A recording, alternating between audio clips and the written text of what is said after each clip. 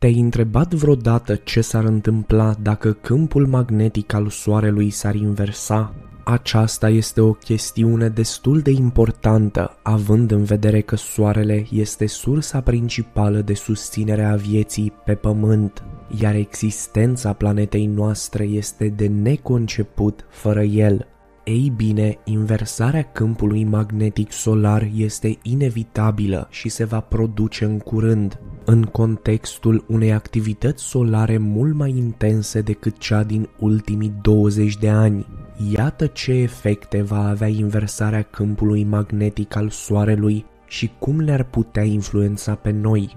Ești pasionat de tot ceea ce ține de spațiu și vrei să afli mai multe despre univers? Abonează-te la canalul nostru pentru mai multe videoclipuri ca acesta și nu uita să apeși clopoțelul pentru a ști când apare mai mult content fascinant.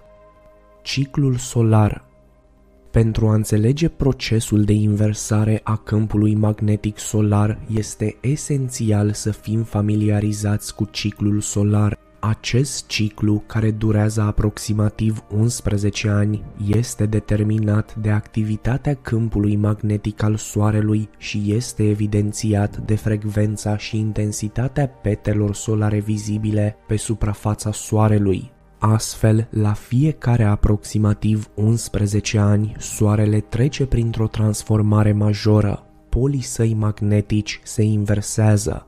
La fel ca Pământul, Soarele are un pol magnetic nordic și unul sudic, spre deosebire de Pământ, ai cărui poli se inversează la intervale de sute de mii de ani, Inversarea polilor solari este un fenomen obișnuit. Ultima inversare a polilor Soarelui a avut loc în 2013, ceea ce înseamnă că o nouă inversare este iminentă, cel mai probabil chiar în cursul acestui an.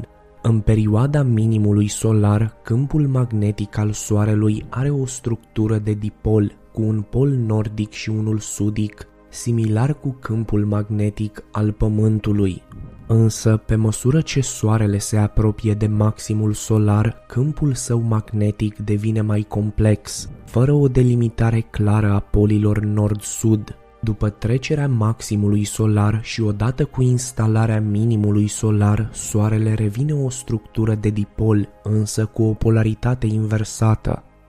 Cauzele inversării câmpului magnetic solar Inversarea câmpului magnetic solar este influențată de petele solare, care reprezintă regiuni cu activitate magnetică intensă de pe suprafața Soarelui și pot declanșa evenimente solare importante, cum ar fi erupțiile solare și ejecțiile de masă coronală, adică explozii mari de plasmă și câmp magnetic, Câmpul magnetic se ridică la suprafață prin fotosferă în regiuni concentrate, cunoscute sub denumirea de pete solare. Petele solare care apar aproape de ecuator au o orientare magnetică ce corespunde câmpului magnetic vechi, în timp ce petele solare formate mai aproape de poli prezintă o orientare magnetică nouă. Câmpul magnetic al Soarelui este generat de un proces complex în interiorul său, denumit dinam solar. Inversarea este declanșată de petele solare, care creează regiuni active din care izbucnesc erupții și alte evenimente solare. Pe măsură ce petele solare emerg în perechi de polarități opuse, fluxurile de plasmă rearanjează câmpurile magnetice, întinzându-le, slăbindu-le și modificându-le polaritatea. Aceste câmpuri magnetice slăbite ale petelor solare sunt transportate de fluxurile de plasmă către poli. Câmpul nou ajuns la poli are de obicei o polaritate magnetică opusă celui existent, iar când cele două polarități opuse se întâlnesc, ele se anulează reciproc. Acest proces ajunge la punctul culminant în momentul maximului solar, când suficiente câmpuri de polaritate opusă ajung la poli, distrugând câmpul magnetic polar existent și înlocuindu-l cu unul nou de polaritate opusă. Ce înseamnă asta pentru noi? Inversarea polilor solari nu reprezintă, din fericire, un semn al unei apocalipse iminente. Cu toate acestea, ciclul solar influențează oarecum clima de pe Pământ, iar perioada dinaintea inversării poate cauza unele probleme.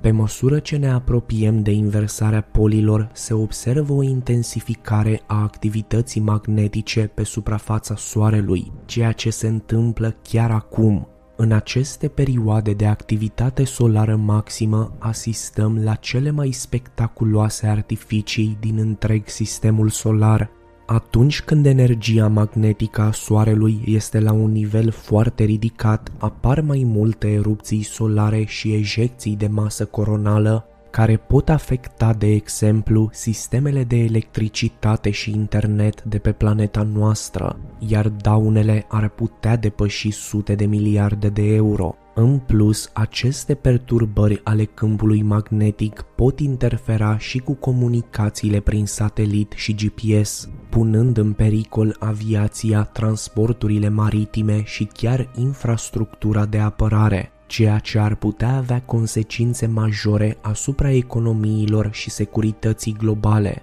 De asemenea, chiar dacă nu este un eveniment catastrofal, inversarea polilor va avea efecte resimțite în întreg sistemul solar. Unul dintre fenomenele pe care oamenii de știință le anticipează este legat de foaia de curent heliosferic, o suprafață uriașă de curent electric care se extinde de la ecuatorul solar. Această foaie este creată de mișcarea câmpurilor magnetice solare, influențată de rotația Soarelui. Ea se extinde din Soare într-o formă spiralată și ondulată, asemănătoare unei fuste de balerină, având o grosime de aproximativ 10.000 de kilometri și întinzându-se pe miliarde de kilometri în spațiu.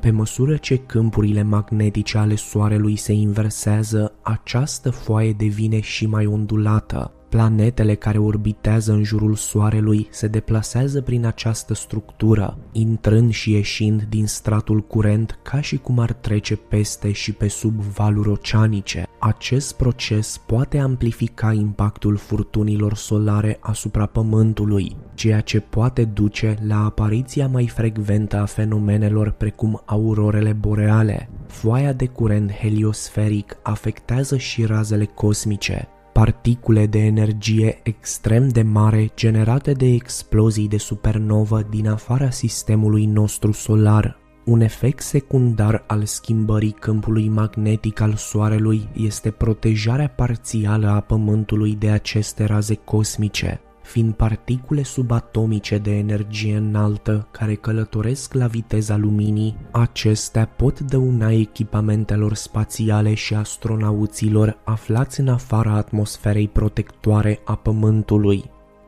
Cât de rapid are loc schimbarea?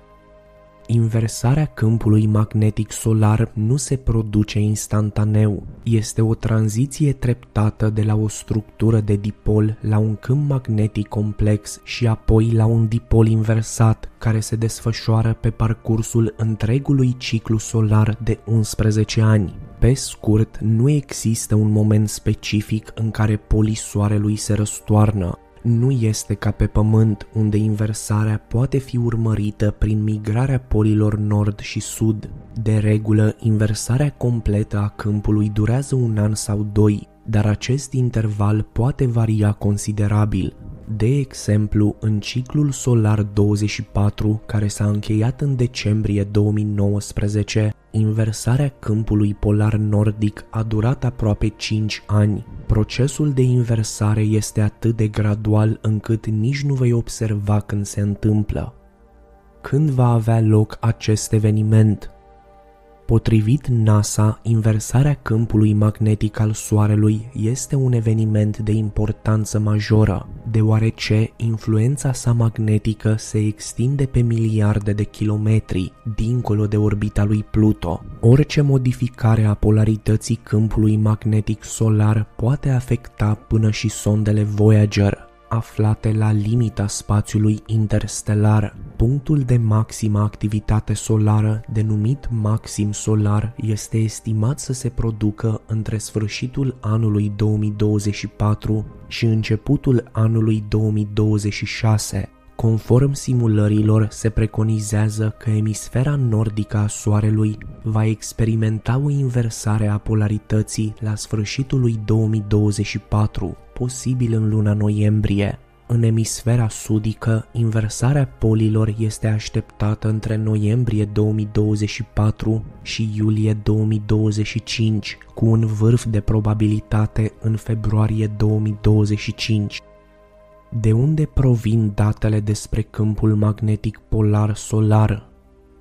Datele despre câmpul magnetic polar al Soarelui provin în principal de la observatorul solar Wilcox de la Universitatea Stanford, care monitorizează continuu câmpurile polare solare de peste 40 de ani. Observatorul măsoară câmpul magnetic al Soarelui pe linia de vedere de la aproximativ 55 de grade latitudine până la polii solari, întrucât Pământul se deplasează deasupra și de desubtul ecuatorului solar în fiecare an, telescoapele observatorului urmăresc locația Soarelui, iar orientarea măsurilor se schimbă în funcție de poziția instrumentelor și de momentul observațiilor. Concluzie Inversarea câmpului magnetic al Soarelui este un fenomen natural și ciclic care, deși inevitabil, nu reprezintă din fericire o amenințare imediată pentru viața pe pământ. Astfel, deși procesul de inversare are loc pe o perioadă Astfel, deși procesul de inversare are loc pe o perioadă îndelungată și nu va fi simțit direct de noi, efectele sale pot influența condițiile spațiale, pot intensifica activitatea solară, și pot avea repercursiuni asupra întregului sistem solar. Această schimbare aduce de asemenea avantaje, cum ar fi o protecție sporită împotriva razelor cosmice galactice. Așadar, în timp ce Soarele continuă să treacă prin ciclurile sale magnetice, continuarea monitorizării și studiului acestui proces ne va ajuta să înțelegem mai bine dinamica complexă a Soarelui și impactul său asupra sistemului nostru solar. Asta a fost tot pentru astăzi. Nu ezita să ne dai un like și să te abonezi, iar dacă ți-a plăcut acest video, îți recomand și episodul din dreapta, s-ar putea să-ți placă.